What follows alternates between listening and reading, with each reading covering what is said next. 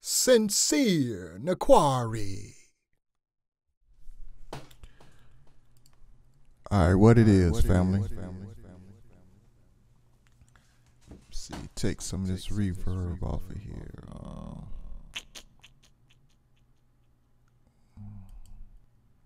test one. Okay. So uh, what I'm going to do here is I'm going to show you guys how to automate um, effects on an audio track. Um, this beat is called Juna, and I'm currently in the mix down process. So uh, I want a little effect on the beginning of the sample. So just the last um, four bars of it, I want the effect to come in. So what you want to do, or what I I did here, there's many ways to do this, but this on this particular track, this is what I did. So um, my sample starts here regularly, and but the effect I wanted to come on the last four. So I split the audio, made another audio track right here where it says audio two. Um, um, um, take that off. My effect is working. Okay. So, um, first, I guess, first, after you figure out what effect you want, uh, you add your effects to get it up here in the um, or your your mixing console, your master mixing console, you go to your rack, right under your mastering section. Um, don't add it in the uh, master mix. Oh boy, somebody will be trying to call me right now, right? excuse me. So don't add it in, add it in your master mix, but you want to add it. Um, I don't know what you call this section, but it's a section right under your master mix. Usually there's a reverb and echo automatically pops up. And you want to add an instrument. So just for the sake of the tutorial, I'm going to pick something. Uh, let me put soft bass in here. And you're just you know, added here, soft Bass amp. And if you come over here and look in your your uh, mixing board, number six, um, hopefully you can see that, is added as bass amp, right? So that's channel six. So what you want to do, uh, going back to our sequence screen, is where you want the effect to be added, you come up to this little zigzag icon up here to the top. Click it, you see download, and you see this thing that says sends. So whatever um, channel on that effects mixer you want, you want to come here and click. For me, is number four. So I'm going to click the number four button. And you have right here on the audio channel the FX4 send on and off. So I get my pencil tool and I come where I want the effects, where I'm going to play with the effects. I'm going to draw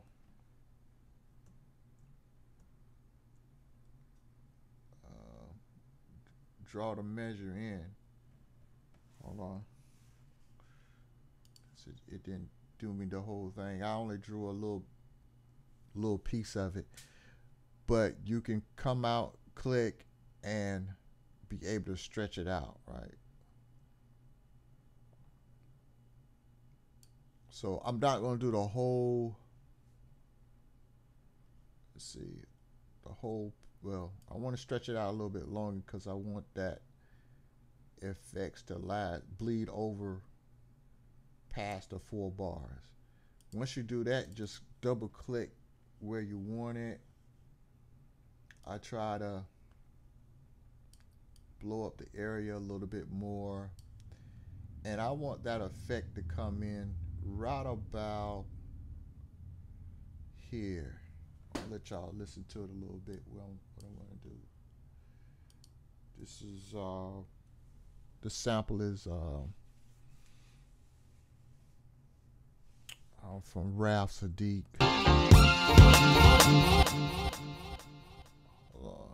it's already on. I don't want it on.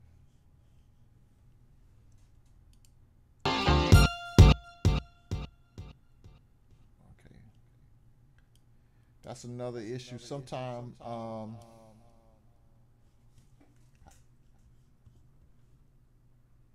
I'm gonna exit out. I'm gonna start over, right?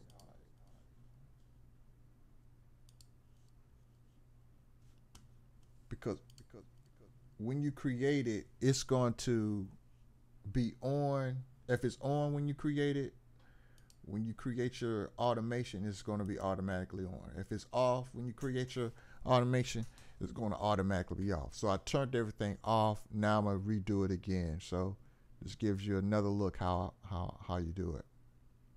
So I want it on send four, create it, come back here. Um, I'm going to create my tool. Right, I want it to bleed over. Click, I double click the area.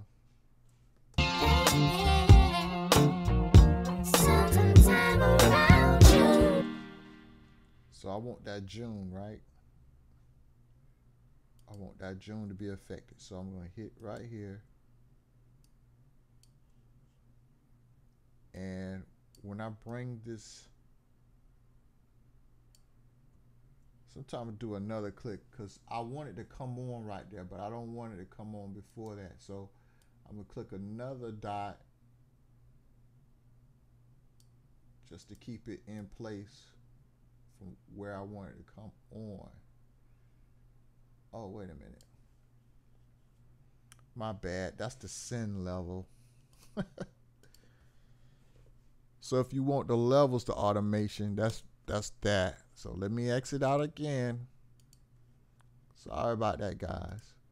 But this is a good tutorial to see all the different ways. Um, I want the on and off for number four. So you go here pre-fader, and now you see here on and off.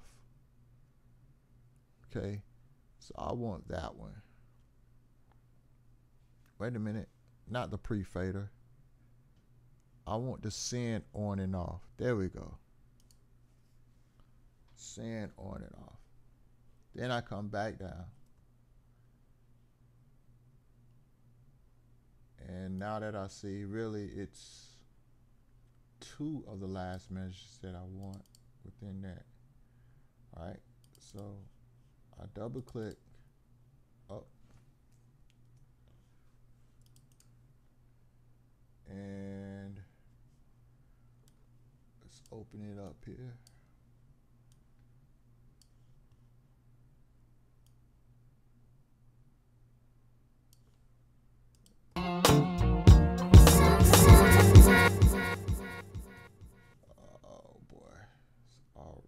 On. Okay, another way to fix this, man, is just pull that down and it's off, right? So that's what I want.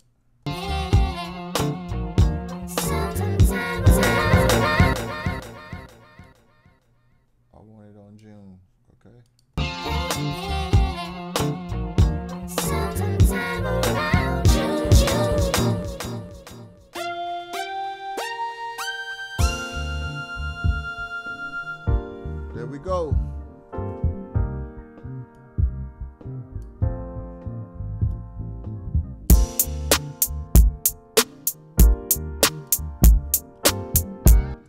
That's how you do it. Um, the, the long way.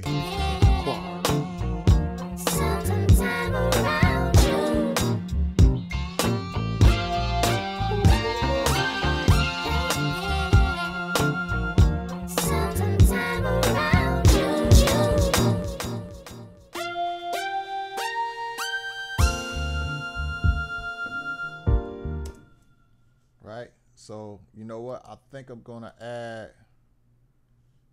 I want to add. Um,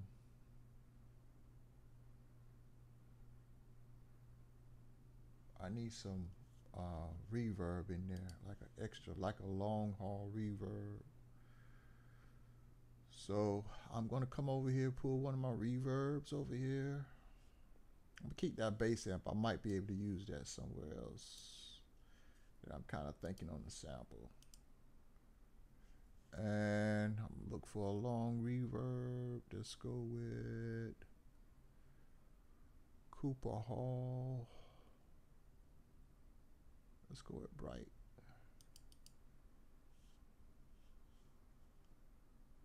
All right, we're gonna come down. Cooper Hall is on number seven on effects. So I'm gonna come down, find number seven, and I just want to on and off effect. So I'm gonna do on and off.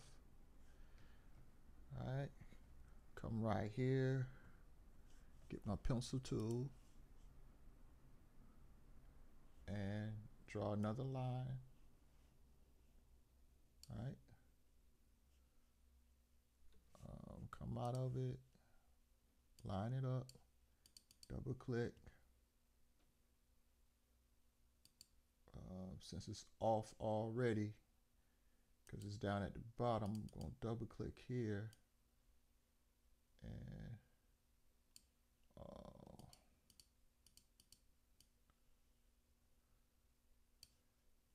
do another one so I can get my line up right and let's see what happens.